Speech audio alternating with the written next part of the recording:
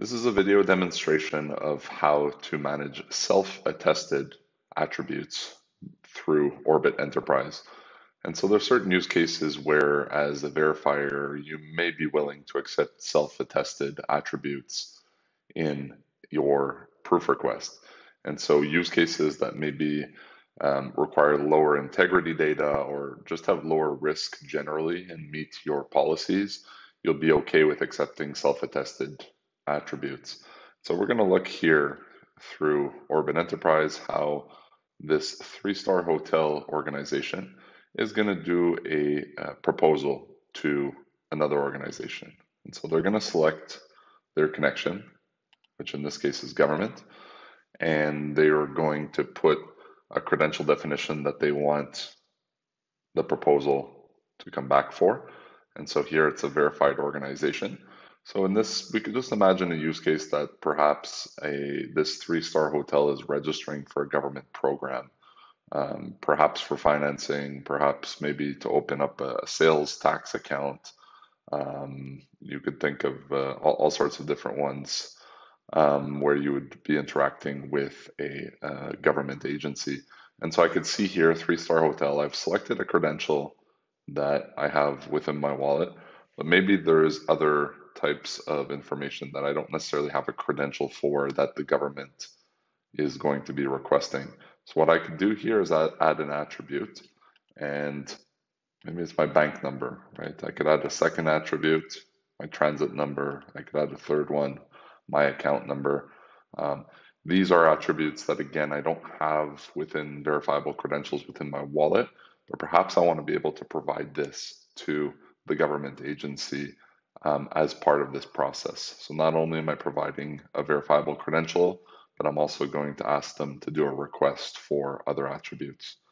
So I'm going to send. And within my present proof, I could see here that automatically I've been sent a proof request from the government organization, which when I open here, I could see the credential I have. So I have the available credential that they're asking for. Of course, I had selected this. I could see the attribute values of this credential. I kept it simple in this one, didn't do any privacy preserving or data minimization um, uh, techniques here, just kept it quite simple, but I could see here the attribute values that I need to enter here. So my bank number typically in Canada is three digits. Transit number typically is five digits and the account number typically is seven. So what I'm going to do is I'm going to provide this and it's been successfully sent. So I'm going to come out of here and I'm going to enter it back through the government side of things. So I'm using my mobile wallet here as a government administrator to access the government tenant and I've been successfully logged in. And if I come here into, that was a prior proof, but if I come here into automated proofs, I can see that I've received a presentation from Three Star Hotel.